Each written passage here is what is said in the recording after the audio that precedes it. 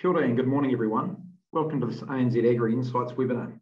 I'm Mark Greenside, uh, the Regional Manager at ANZ New Zealand. Look, today I'm delighted to be joined by ANZ's agricultural economist, who'll be well known, Susan Kilsby, and Erica Van Reenen, Managing Director of AgFirst Manawatu Whanganui and Chair at AgFirst. Our focus today, with Susan and Erica's help, is to have a look at what's happening in the economy across the agri sector and what agri businesses can do to look at how they improve the environmental outcomes, including options for mitigating greenhouse gases and emissions. So as a bank, we've been supporting farmers and their communities for over 150 years. In fact, attended the Century Farms in Lawrence over the weekend, saw many people who shared their long stories of success and resilience. This resilience shown by our agribusinesses customers is truly remarkable. We see it on a daily basis, and we just like to acknowledge the efforts and intelligence that's going into running these businesses through these times. Climate change and the need for environmental resilience are a growing part of our conversations with customers. That's why we're committed to delivering insights like this webinar. Looking to the future, ANZ is a key contributor to the framework being designed under the Sustainable Agricultural Finance Initiative to accelerate investment and support for sustainable agriculture in New Zealand. We are committed to growing our expertise and we will be on this journey with you. As the sector collaborates and considers the benefits of sustainable finance, the key focus will be finding the ability for farming to achieve all the different outcomes of environmental, social, and economic prosperity. The world needs to be fed, as well as being better protected from the impacts of what's coming through climate change. And one message I would share at the outset is that we all see how we're all in this together. Businesses throughout the economy, banks included, are navigating all these new practices, and we'll have to put in place a response to climate change. We will be here with you. Now, to give you some insights into what's happening in the economy, I'd like to hand over to Susan. Welcome, Susan. Hello, everyone. So um, today, um, what I'm going to talk to you um, about is a little bit about what we're seeing happening in the economy right now, um, and then um, what's happening in terms of um, different product prices and the likes, and we'll, we'll head on through. So I guess the big the big picture trends that we're seeing at the moment, um, both here in New Zealand and, and globally, um, are really around inflation. Um, costs have gone, you know, skyrocketed, um, not just here, but in most countries around the world. And um, so we're in a period where we're seeing monetary policy tightening, interest rates rising um, as we try and battle, battle inflation some of the challenges that we saw um, through the pandemic, um, particularly some of our um, supply side um, logistical challenges, problems getting product to the market um, and the likes, um, have now sort of normalized. So we're no longer sort of battling on that front as much as what we were we are still um, seeing pockets of um, political unrest. Um, China US tensions um, remain, and um, that was reiterated at the recent um, sort of G3 summit, where there was also a lot of focus on what's what's happening in Ukraine as well. So, in, in, in some ways, we've seen some improvement in the flow of, of goods from from um, Ukraine, but um, still nowhere, um, still still causing some um, challenges as well. Um, I guess the other big trend that we're seeing is consumers are looking for more information about um, how their food is produced, not just the quality of, of the food that they're eating, but some of the ethics behind what the various ways food is, is being produced. and then a lot um, a lot more focus on um, the environmental um, concerns as well. Um, but just touching on interest rates, because this has always been a, um, a real um, hot topic at the moment. We, we do see further tightening in the monetary policy cycle. So we um, do think we'll see the Reserve Bank lifting the official cash rate um, further. Um, our forecast is for another 25 basis points or a quarter of percent lift um, tomorrow at when they meet tomorrow, and then another lift at, at the following meeting. this graph kind of shows that there's differing views around how high rates need to go and how quickly they need to come back, and there is still a lot of uncertainty. Um, but I, what I would say is that we don't feel we're at the top of the cycle quite yet.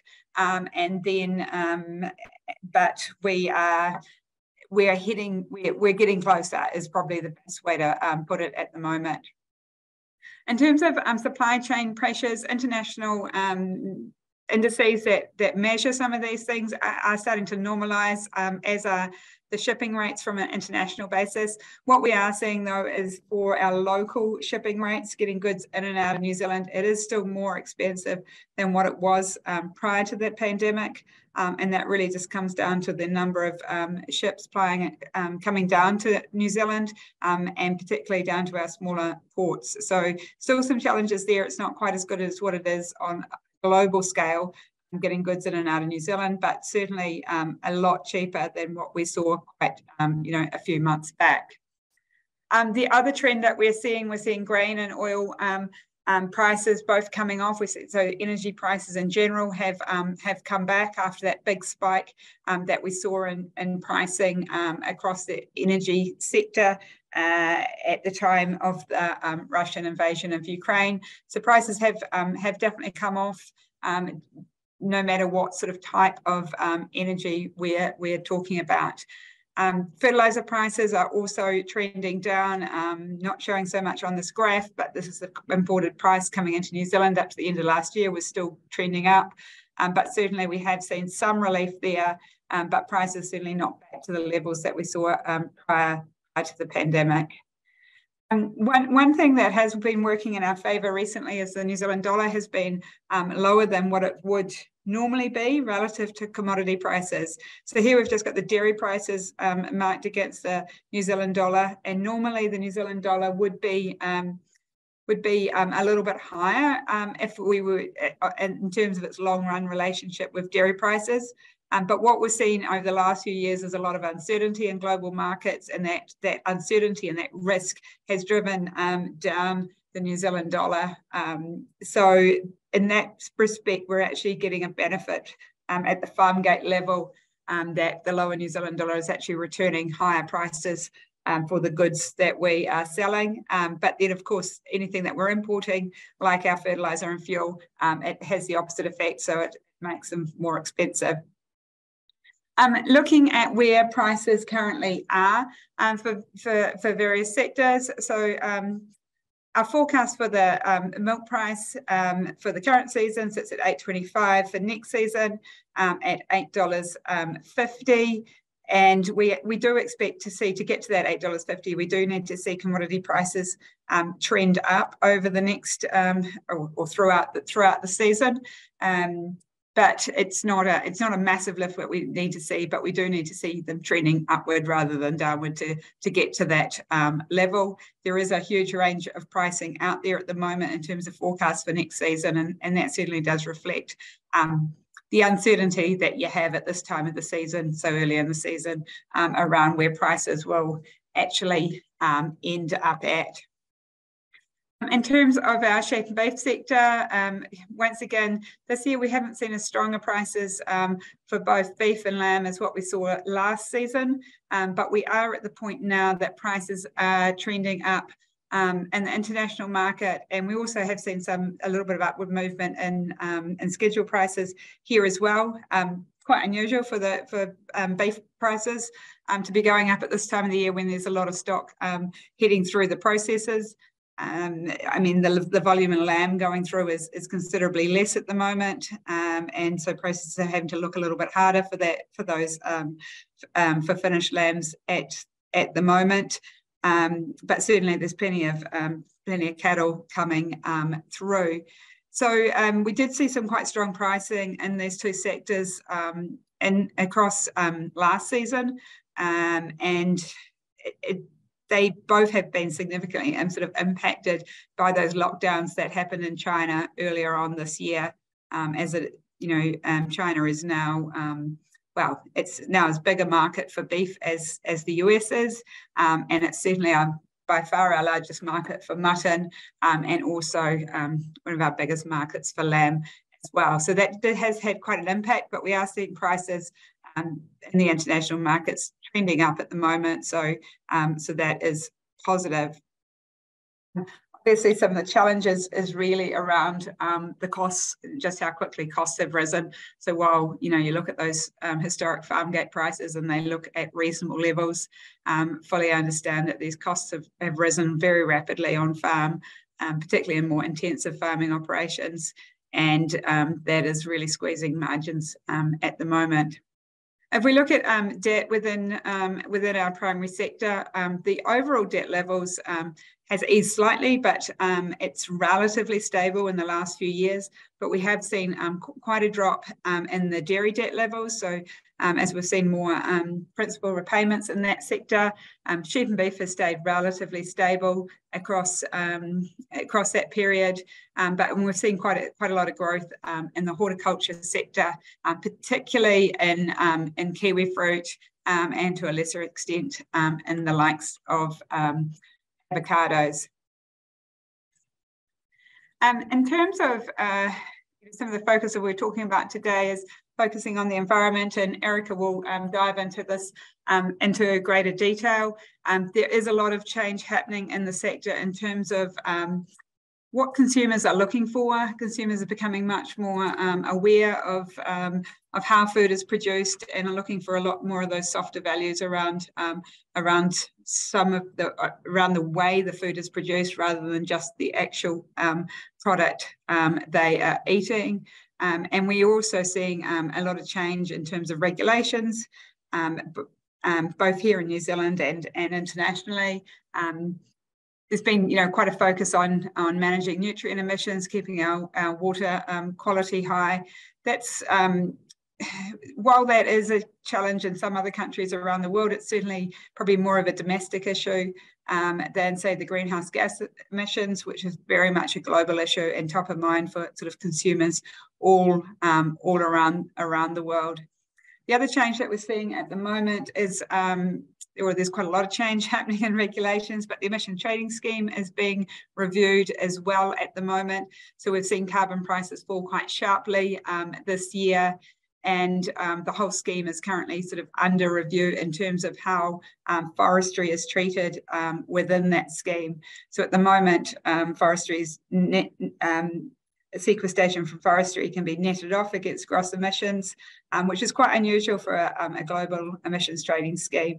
Most, most of the schemes just focus on reducing gross emissions or reducing pollution rather than having the ability to offset um, against um, sequestration. So um, certainly one, one to watch in terms of where that's, where that's trending. Um, the other area we're still waiting to get more details on, of course, is, is the um, He Noa or how ag is going to be priced into the scheme. Um, and Erica will speak more about that. But, um, but certainly, you know, with agriculture accounting for half of our emissions, um, our greenhouse gas emissions, um, there, you know, we're definitely going to be accounting for it one way or t'other. It's just how and when we do that, that's still, um, still a little bit up in the air. And so in terms of um, sort of summarising where we're seeing things, um, we are seeing tighter global economic conditions um, in most countries around the world. China is probably the only country this year that will actually um, have stronger economic growth than it, than it did last year. Um, every other country is sort of easing easing back. Um, so that is that is creating you know some challenges in terms of demand for for goods. Um, it does tend to you know ease back when when um, everyone's under a bit of economic pressure. Um, we are seeing you know some some easing in our energy costs in, in general. So that's sort of been reflected in, in softer um, prices for, for the likes of um, fertilizer and fuel. Um, we're still seeing interest rates trending up as um, as we try and get on top of that inflation problem um, and labour availability is still you know reasonably challenging um, across um, well I guess across most sectors but particularly in um, particularly in the primary sectors. And while we have really low employment levels, it's quite challenging um, to get inflation under control as well, because we're seeing, you know, a lot of upwards pressure on on wages from from that sector. So um, it's certainly, you know, not a quick fix. We've got a wee bit of pain ahead of us um, in terms of um, in terms of the economy. I'm looking further ahead. Um, you know, the global um, resources for food production are limited and um, th there's been a greater focus on um, on sustainable production. I mean, one, one advantage we have here in New Zealand is we do have access, we do have plenty of water. Um, some of us have had far too much water um, this year on our on our farms, but um, we do lack water storage in New Zealand, so that's um, one area we will need to focus on if we want to actually take advantage of that natural resource that we have in abundance that very few other countries um, do do have.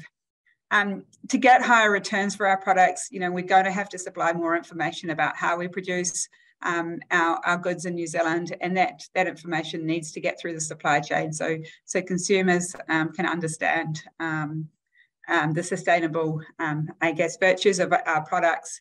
Um, and, and, the other thing I think we'll see a, a, big change in over the next decade or so is, is a much bigger variation in the farm gate prices that we will each receive. And that will depend not just on what we're selling at the gate, but how, how we're producing that. Um, and also, you know, taking into consideration environmental aspects, also welfare aspects, animal welfare, um, how well we're treating our staff, all of those types of things are going to be important and we will see differentials um, as a result of that. I will finish there. We do have, um, you do want to get hold of um, any of our products, we do have a couple of barcodes that um, we will we will distribute out um, and feel free to ask any Sure, everyone. Really nice to be here. Um, I'm going to talk to you a little bit about um, how you and your farming business can prepare for some of the changes and Susan's done a great job of um, setting up what um, what we're kind of facing and I'll just go into a little bit more detail on, on those aspects. Um, I think important to uh, highlight what the definition of sustainability is when you're when you're talking about it. So for me, I use the Brundtland definition, uh, which is um, that sustainable development is development that meets the needs without compromising the ability of future needs to meet their own future generations to meet their own needs. So from 1987, been around for a long time. I guess when you think about what that might mean, um, identifying needs is obviously very subjective, and we all have a different view of what needs are both now and what might uh, needs might be in the future. Um, we don't have crystal balls uh, working just yet, but you know, time will time will tell on that one. Um, so I, I guess it's thinking about how we what we using what we know and operating within that kind of environment. A farm business is land, water, people, animals, as well as the business aspects. Um, and so, and we're also part of a community as farmers, uh, be that local, uh, within our farm teams, and the wider local community, regions, nationally, and of course, we're part of a global ecosystem as well. Um, and each of those uh, layers will have different needs and expectations of what we do. I'm going to focus on the environmental aspects of um, sustainability, but um, but acknowledge that it is not all about environment. That's just one aspect of sustainability. Um, so as, as Susan's highlighted, we're in a very uh, rapidly changing world at the moment. Um, customer expectations are changing probably at a greater rate than what consumers are at this stage. So customers are working really hard ahead of uh, consumer expectations having said that, there's some really exciting um, opportunities coming through markets, and I know a number of um, of meat companies at the moment are, are, offshore working quite hard on our behalf. So it is important to understand that it, this is uh, the customer level, so the people that are buying our product um, before it goes to the consumer, and um, and that's often driving things. We're also seeing financial markets changing, so all of the New Zealand have signed up to the Sustainable Agricultural Finance Initiative. Um, you'll see green loans coming through or sustainability linked loans, um, and ANZ, of course, are doing that as well. And so this is driving things on top of what we're um, potentially going to see very soon in regulation, or we've already seen. So rapidly changing nature of farming. And if you even go 10, 15 years ago, we could operate more or less within the farm gate and buy to our own devices that um, that's no longer business as usual. Um, I often hear when I'm out and about that um, that this is all happening at once and, and it's really hard to deal with. I'm a farmer too and um, absolutely feels like this is coming at us like a freight train. Um, it is in terms of how things are landing. This is in the regulatory space, but I guess just to highlight that none of this stuff is new. So the Climate Change Response Act with ETS and it was enacted in 2008 and prior to that was 2002 when it was it came into legislation for the first time. Since then, pretty much every government has um, has made changes to it, so it's changing and evolving um, all the time. National Policy Statement for Freshwater was 2011. Uh, we had the National Policy Statement for Freshwater Management 2020. Uh, we've still got a proposed National Policy Statement for Indigenous Biodiversity, which we're waiting for some certainty around what that might Um, and of course, we've got emissions pricing or the ETS coming at us in 2025. Um, it, within all of those bits, there's elements that we've had to deal with, and a lot of that has fallen in the last couple of years. Um, hence why we're, we're feeling quite under, under pressure and overwhelmed in our farming um, environment. It's hurting, and it's hurting rural New Zealand, um, and we are um, we're showing that hurt, uh, understandably so. Um, there's a lot of uh, misinformation out there. there's a lot of uh, challenge coming at us. Um, it, there's a cultural shift happening where our identity has been threatened. I know for us, we identify as being sheep and beef farmers. Um, thinking about could we be any other type of farmers is a really challenging thing to get your brain around. Um, a lot of this stuff is complex, complex, and it's also counter to what we've done previously. So we're having to shift the way we think about our farming systems, what metrics we're using, what matters, what we do to drive uh, profitable outcomes might actually be counter to some of these environmental components that we've been asked to um, respond to. And even though it's been coming at us for a long time, the pace of change we're dealing with is, is substantial and that's hard. We have been here before. So this is um, farmers protesting uh, subsidy in the 80s um, in Wellington, and um, and I am yet to meet a farmer that would say we should go back to being a subsidised um, farm rural economy or an economy at all, at all that's subsidised. We uh, went through a lot of pain um, in the subsidy removals, um, and uh, definitely uh, think there could be could have been things done a lot better in terms of how the policy was structured to support transition. And hopefully, we're not going to face the same kind of pressures this time around. But we did thrive as a result of the subsidy removal. And so I guess uh, my challenge to you is to think about the change we're seeing now um, in relation to how we can overcome that and see it as an opportunity and, and capture the opportunity that's there. Um, just to, I'll quickly go over this just because um, Susan's already covered it. But when I'm talking about environmental aspects, we're talking about fresh water, that's both quality and quantity. Um, I won't spend much time on that because we've um, there's been a lot of um, a lot of talk about that. Um, Indigenous biodiversity. Um, if you talk to um, to companies who are operating in the market, it's becoming a really global hot topic. Globally, there's massive decline in biodiversity. New Zealand's no different. We're losing species rapidly. Uh, that's vegetation, um, and and fauna as well. Um, so we're you know we're a, game up there, but we've also got an opportunity because of the amount of um, indigenous biodiversity in our farming system. So if we can protect and enhance, look after what's there already, we've got some um, great gains that can be made. It can't all be put onto the um, the crown to protect what they've got with the little resource they have. So that's a watch this space, and there's certainly some potential opportunities coming into the market with biodiversity.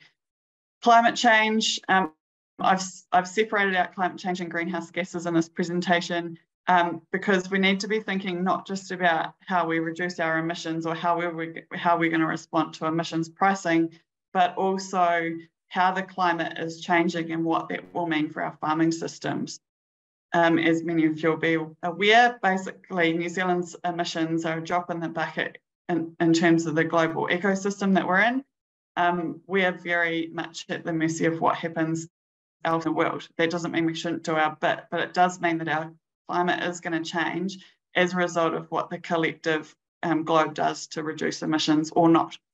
Um, so, so obviously we've seen some horrendous um, uh, natural disasters in the last couple of years in particular.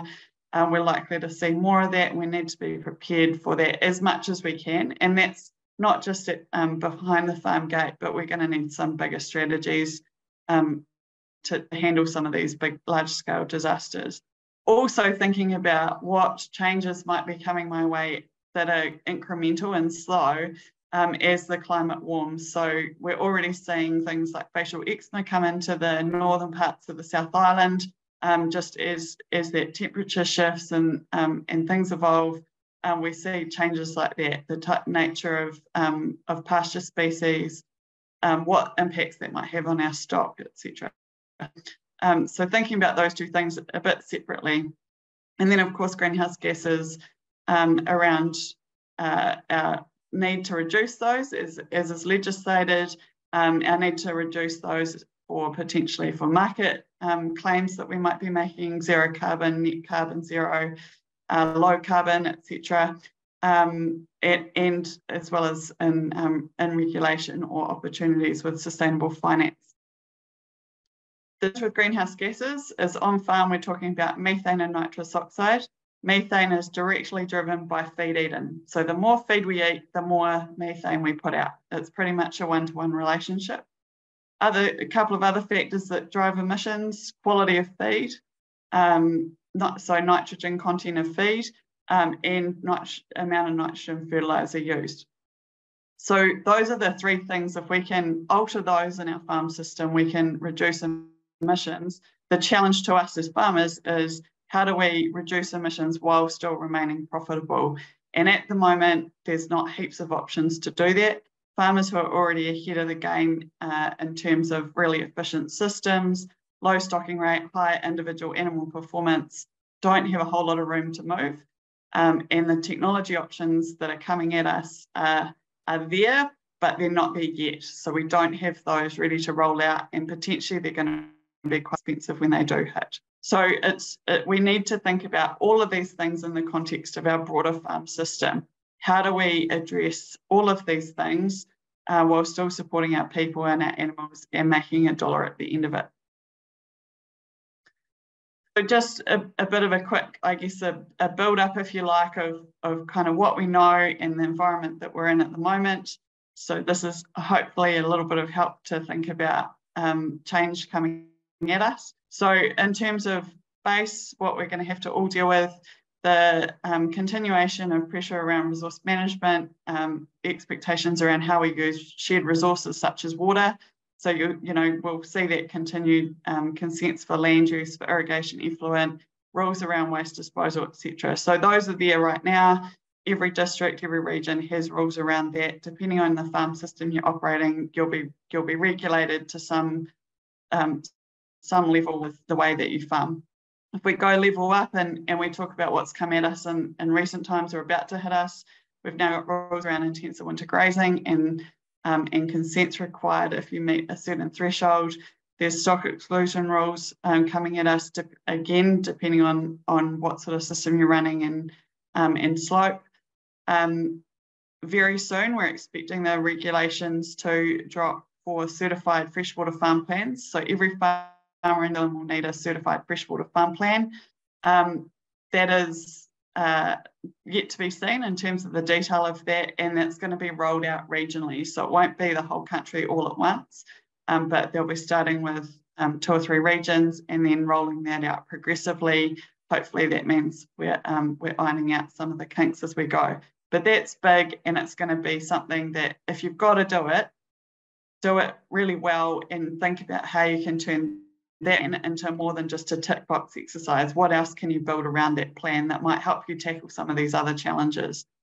While that plan's got to be have a freshwater focus, you can use it for other elements of managing your resources. And then, as I said, emissions pricing. What we know with that uh, is still waiting for some final decisions uh, to come through from Cabinet. Um, the, the, government reported back in December. If you missed it, it's called a Section 215 report and on the MFE website. Um, sorry, I should have popped it up in, in the chat um, and to the link to it, but have a read of that. That will set out what happens come 2025. All farmers will be paying for their emissions at the farm level, um, and there's there's a bunch of rules around what that might look like. We don't know what the price is going to be yet, uh, and as I said, there's a bunch of detail around that, um, I, which I talked about in the last session. Um, if you if you want to go back to that. Um, and again, so we've, you know, we've got market-led assurance schemes, sustainable finance coming through. So there are expectations broader than just the regular um, regulation. In terms of what's now normal, we're seeing increased climate volatility. We've obviously got increased market volatility, and you're well well supported here with Susan giving great insights into where the market's at. Change is the normal. Um, we we are seeing change basis in every aspect of what we do is in our farming business, um, and the expectations of of those beyond the farm gate influencing what we do is also the normal. So I guess just to give you a few pointers on where to start, um, use this or not if it doesn't work for you, but um, a key thing I see with farmers who are well positioned to tackle this is the mindset. If you're in a negative mindset about this, you're fighting it, you're resisting it, you up in misinformation, not thinking about the sources of information coming at you, um, the the way that you will think about these challenges is not a constructive one to build a good, profitable, strong business that can evolve and seek opportunities or make the most of opportunities when they come. So, uh, so really encourage you to take a constructive mindset with this stuff. That doesn't mean I'm saying it's easy, it's and, and that we're not going to be challenged by it or pissed off by it, or that you shouldn't contribute constructively to policy discussions because we absolutely need to do that. Um, we really need good regulation that works for farmers that can be implemented. Um, but your mindset is your, is your first tool, I guess, um, in tackling all of this. Be informed and also be careful of your information sources. There is a lot of misinformation out there and a lot of, um, of reasons that people are putting out misinformation. So just be careful about um, you're getting your information from have a strategy. So take take a strategic approach to this. You can if you start diving into all the different aspects that you've got to respond to, you can can definitely miss some of the bigger picture or miss some of the um, efficiencies that can be made by responding to some of these challenges with one action dealing with multiple issues. Then apply that into your operational planning um, and be prepared to change. So um, I, I've farmers say, well, we're going to wait until we have certainty before we do the next thing. Um, there's certain aspects that we're going to have to wait for, like in terms of responding to freshwater farm plan rules, for example. Um, but there's a bunch of things that are going to be no regrets. Having a good, solid farm environment plan is a really good basis for tackling a bunch of these things, and you can build on it as we get more certainty. So being prepared to change and um, and just start taking action. Elephants, how do you eat an elephant? One bite at a time. Um, just a little framework that might be useful for you um, that I, I use from a strategic perspective. So always, always start with what your business and family goals and objectives are. So um, every business is different. You've got different structures, different um, goals, different positions in terms of where you're at with succession. You might have just come through succession. You might be still going through succession you might be planning to sell the farm in a few years. All of these things matter and will make a difference to the type of actions you take to address some of these challenges. So once you're clear on what your goals and objectives are, identify what your resources are and the constraints you've got within those. So that's your natural resources, your human resources, and your capital resources. All of those things kind of set your boundary. Um, you, I'm, I'm not going to be suddenly dairy farming on my whole country farm. Um, on my flat farm, I've got options in terms of land use just because of the nature of the uh, resource we've got there. So you've got options depending on the, the land and the water resource that you've got, but you'll also be constrained with location, with people, and also, of course, with capital. So that kind of sets your boundaries. Constraints also think about those things. So you'll have regulatory constraints potentially. Um, it's very hard to, for example, go from dairy to horticulture as a land use change. Uh, quite easy to go from sheep and beef into forestry, it would appear. So those sorts of land use decisions will be um, driven in part by, by policy. So understanding those constraints, but also your natural environment constraints.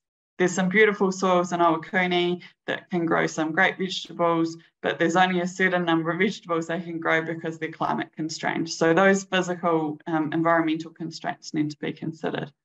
So those two things kind of set your parameters, your business and family um, goals and objectives and your resources and constraints. And then you can look at how do I think about my business, uh, taking all of those things into consideration.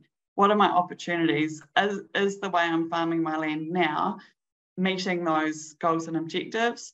Um, are there other opportunities that I might be able to pursue? And I'm not talking about everyone changing land use here. This is just um, thinking about you might be able to make in the system, um, as well as uh, broader opportunities that might exist for you. That gives you a way of coming up with an in integrated strategic response, and it means that you're considering multiple facets at the same time. Um, you might need supplementary plans to support this. Most integrated farm plans that I've seen are very beastly documents um, great if you're into a seriously large document. If you're not, make sure you're putting in output, having a plan that you will implement. So it might be a map that goes up on the shed wall um, that you're engaging with on a regular basis. I'll just touch on some of the opportunities out there. Um, as I said, thinking about bang for buck. So how do you tackle multiple opportunities at once?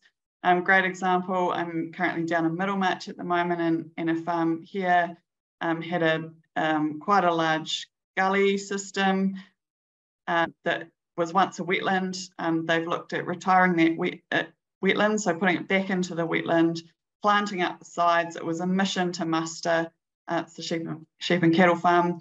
Um, and so they've, but they've planted in a way that they can put that planting into the ETS.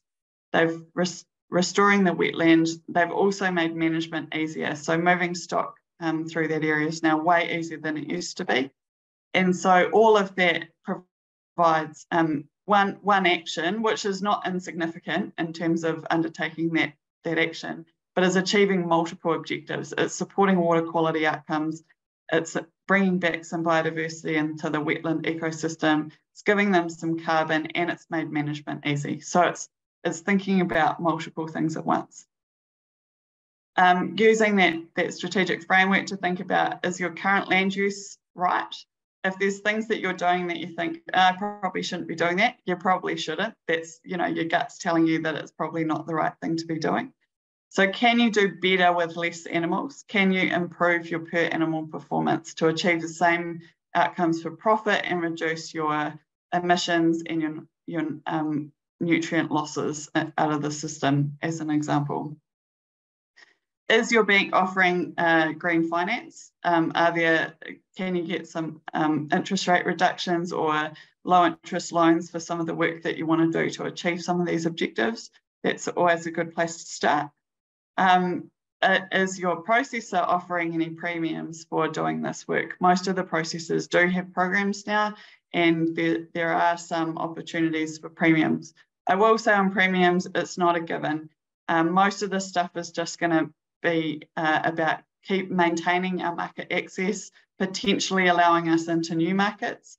Um, we can't expect a premium on it. The, the nature of the consumer is such that this is this is expected now. Um, technology will be coming and it can help, and we've seen um, quite a quite a shift in the way technology can help um, with our understanding and also with some tackling some of these challenges.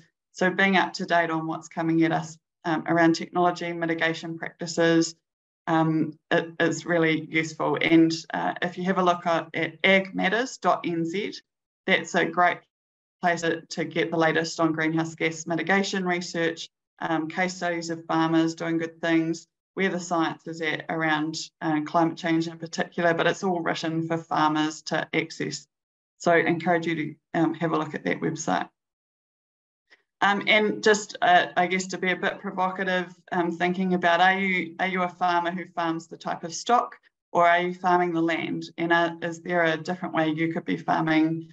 Um, if we think that we're land farmers, um, maybe there are different um, different things we would consider in our businesses that might help support those future generations' needs. Um, the other thing I guess that that's important is that all of this is tough to tackle alone, like really tough to tackle alone. It's a lot. Um, if you can work with other farmers who are going through the same challenges, um, that that is really um, generally a really positive way of dealing with it. Um, I'm, I'm down here in Middlemarch with a group of farmers tackling the challenge of reducing emissions. Um, it, catchment groups are doing great things around water quality, uh, starting to think about climate change as well. I know not everyone likes to work in a group environment and um, and I know a lot of farmers, um, part of their preference for farming is that they don't have to talk to too many people. Um, but if there are ways that you can get together, even if it's just your wider farm team, your, your your accountant, your vet, your neighbour, um, whoever it might be, talking about this stuff with more than just um, what's going on up here is, is really important. Um, it's also most of it is is not just uh, defined by property boundaries. So we're talking about catchment scale or planetary scale uh, change that's required. Um, and so managing things like biodiversity outcomes or greenhouse gases at a broader scale than just our, um, the confines of our property boundaries will make a much bigger impact um, with potentially less input. Um, and use your team, I guess. So, so um, you know, our young people and uh, are coming into the sector um, really passionate about solving some of these challenges. So, don't underestimate um, how your farm teams are positioned to help you think about these things. Um, so, yeah, oh, um, I guess just to summarise, um, we we do need to recognise the broad role of livestock beyond um, climate change and water and biodiversity. Um, we do produce food and nutrition. Um, we've got we have livelihoods with roles in terms of nutrient cycling, carbon storage, biodiversity, landscape design, um, and maintenance. But we're also caring for an ecosystem and an environment. So we need to try and uh, work together to figure out how to do both. Um, we need farmers and the farming community working together and not trying to divide um, it's not going to be easily solved by individuals, and there's plenty of arguments that we can have around how we tackle these challenges. Uh, sometimes we're just going to have to get on and give things a crack and, and see what happens. Um, we can't, we're not going to get away with inaction, so we do need to do something. Um, if we are doing it, we can um, we can find the opportunities and um, be part of both the, um, the problem and the solution. So I'll leave it there and hand back to Mark. Look, thanks very much, Susan, and thanks very much, Erica. Um, we've got about 15 minutes to run or thereabouts, uh, and so you know it's going to be important that we can get um, people's questions. And there's a few questions that have been submitted, but look, there's a there's a really big picture there around what's happening in New Zealand agriculture, and certainly from an economic perspective, uh, as well as I think uh, a big part of what Erica has shared with us is the, the leadership um, that's required, the sort of mindset that's required to work out where you're at and where you need to go. And you know, the ability to connect or get off farm or do these sort of things in terms of these um, webinars to keep yourself informed. And what I tend to find when I'm out and about dealing in the ag sector is, you know, where people are getting um, informed and aware, then they seem to find a way to get go forward and, and, and have a plan for the for the future. So uh, yeah, well done for everybody that's attended today and, and for those people that um, can see their way through um, and, and have got good people around them. Just as we start those questions, uh, I've got one for you, Susan, to, to kick off. Uh, one around interest rate forecast and when and if they start stabilising and reducing, and where do you think they will land uh, in particular? Yeah, that's that's a really good question. Um, I mean, what we're expecting is interest rates to um, more upwards pressure on interest rates for the next few months, um, and then to basically stabilise at high levels um, right through into the second half of 2024.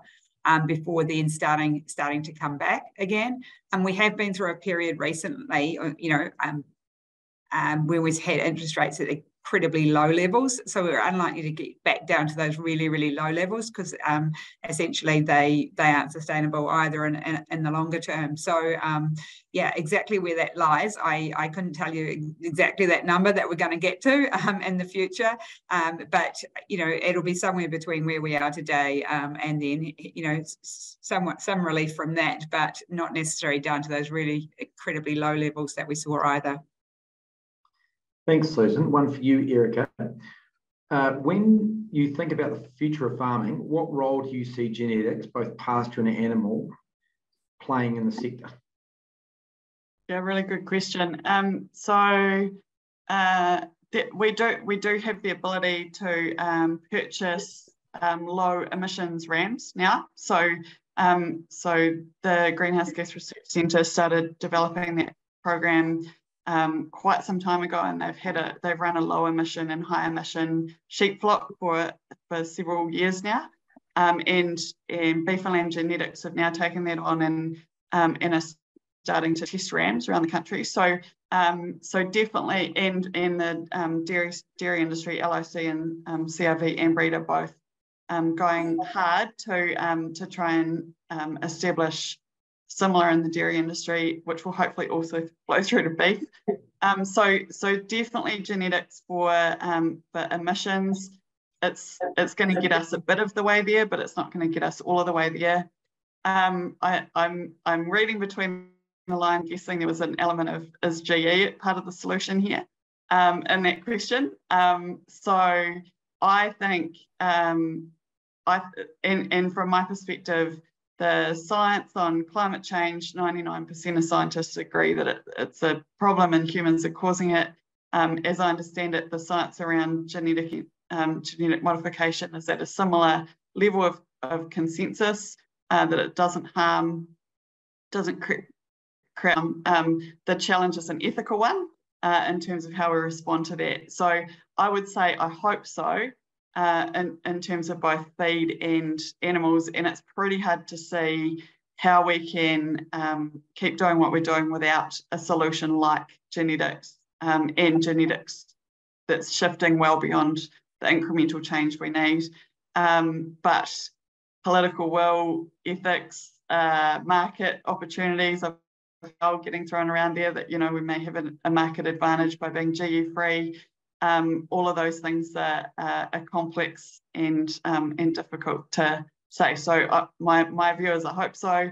Um, there's there's certainly scope there, but yeah, will um, it will require a bit of leadership. Okay, great. Look, um, the next one there is around um, carbon forestry, uh, in particular. What's your hunch regarding the future for exotic carbon forestry? And Susan, you might have a crack first. Yeah, well, I mean, at the moment, we're seeing a review of the ETS, um, and it's become quite clear um, that the current system isn't sustainable. Um, how it how it is, um, what it's really encouraging is um, a lot of forestry planting, um, but not necessarily creating the right incentives to actually reduce pollution to meet our longer term targets. So it's a bit of a band aid, a short a short term fix. So I think we will see some changes in that ETS to um, to encourage a reduction of gross um, emissions and um, less reliance on, on forestry. Exactly how that comes out is, is yet, yet to be known, um, but I suspect we will see something that makes um, I guess the current imbalance between natives and forestry not quite, I mean, natives and pines not quite as great as what we're currently currently seeing. Um, but it's certainly one we're watching pretty closely, and there should be some more info on this um, probably in June. So one to watch.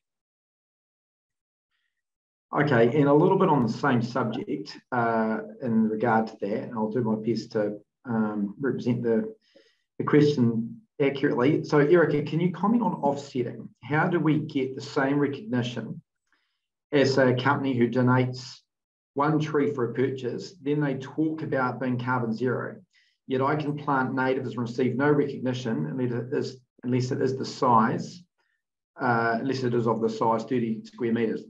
This is a flat farm with some small unproductive area, not like a large gully like your Middlemarch. Often the offsetting company gets the kudos, not the landowners.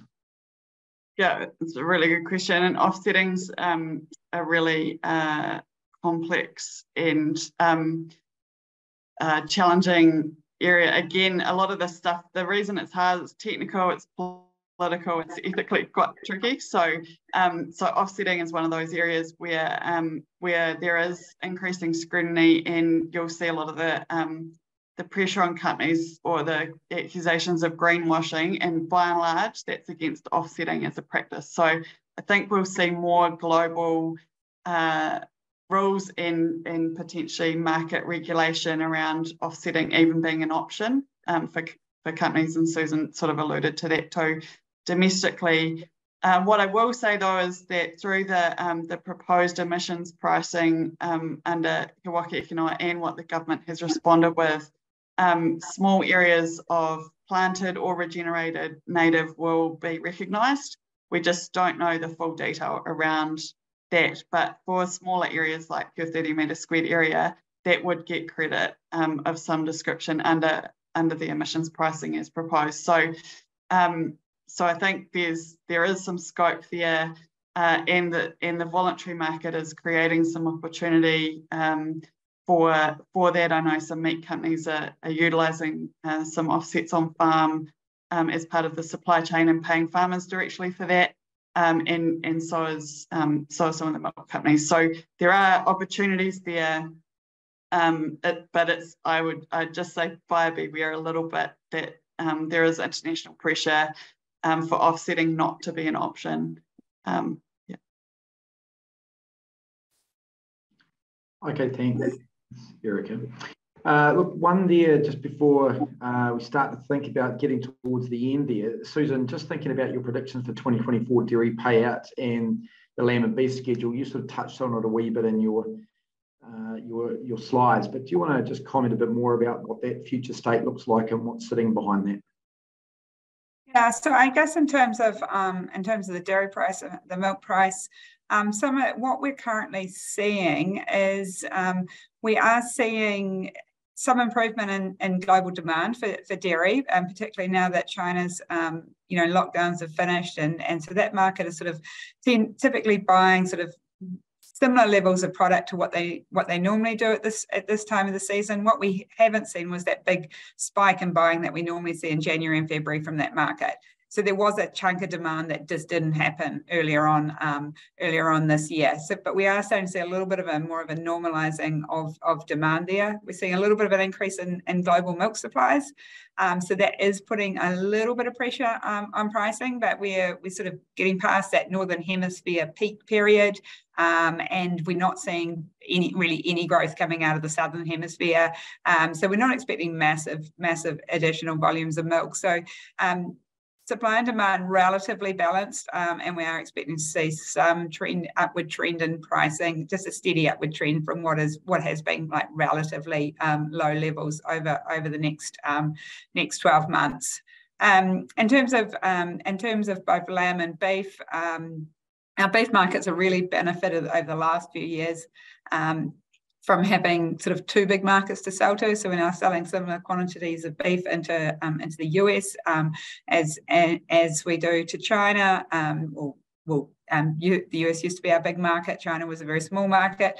Now they're similar sized markets for us, um, and that that's that's really helped um, sort of diversify our, our market there a little bit.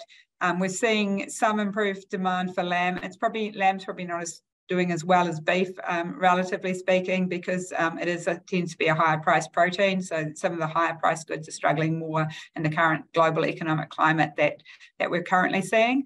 Um, so we're not seeing the strength in pricing that we saw a year ago um, this season, but we are seeing some improvements um, and definitely you know upward trending prices in market. So um, some positivity there, sort of behind behind the scenes, and at the same time starting to see.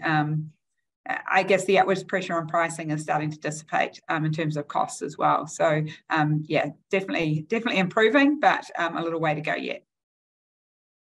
Okay, thanks. Look, there's a question here. Uh, says, are banks still supportive of the farming sector? Uh, look, I think you know, there's a couple of ways of answering that. Well, I've been the business of lending money to farmers for 25 years. There's, it's, there's probably never been more people on the ground doing this uh, all around New Zealand for banks, and that's all banks. And you know, there's a, there's a big prize here. Obviously, um, you know, banks in New Zealand understand a couple of things. You know, one is that there's about forty billion dollars of export earnings, or nearly sixty-three percent of all export goods, you know, uh, driven out of the the ag economy. And you know, they pay the taxes and bring the jobs that are you know um, locally, regionally. And so, if we want to support local and small businesses or agri businesses, the commercial businesses we know that uh, that's what really exists in those local towns. And, and so the farm sector really has becomes the backbone of that. I think the other thing is that, um, you know, we've all looked at and know that to be future ready, there's going to be a whole lot more requirement to have more financial stability. So there's a lot more education and thinking about the financial literacy, uh, the education around that.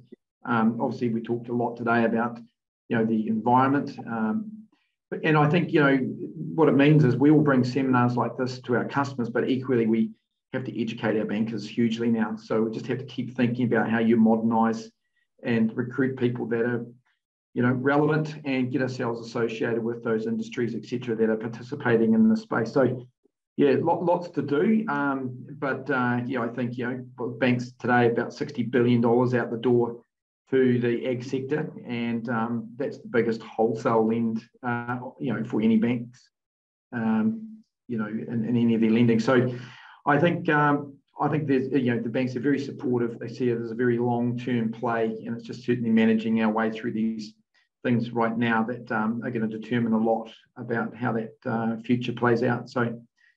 Um, I don't think there's uh, any more specific questions, uh, but uh, I think what we'll do is we'll just having a look to see if there is. There was just one around what regions are um, certified freshwater farm plans are rolling out to first. So um, that Waikato and Southland will be the first cabs off the rank this year. Um, yeah, and we're still waiting to hear who'll be next. It was meant to be um, Gisborne and Hawke's Bay, but obviously since um, Hale and Gabrielle, um, they've, they've been postponed for obvious reasons.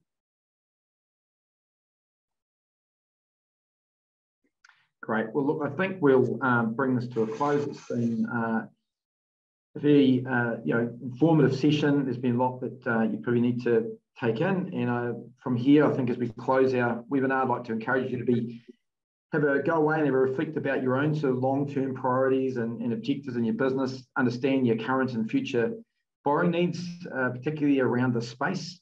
Uh, because look, you know, what we really do, you know, not just with what the economic environment is, but certainly things we've touched on today, it's going to be really important that people are proactive and have real conversations with the people in their business and think you should be in that business today. That's helping you sort of navigate those things. You know, there's an opportunity to take really practical action to look at reducing your emissions, and it's about understanding what's there and, and how you can do that. Um, look, for farming business wanting to improve their environmental outcomes, there is some things that's been touched on today, like the ANZ's business green loans, and they're available and they are at a special rate. And this is really a, a way in which we can help people um, identify, uh, you know, things and initiatives that can, you know, make some things better on farm for eligible assets and projects. So there's, there's some detail that sits in behind that, but certainly feel like you can uh, come to our website or one of our managers to work through that. But look from here, a big thank you to our speakers, Erica and Susan. Thank you to everyone for taking the time to join us today.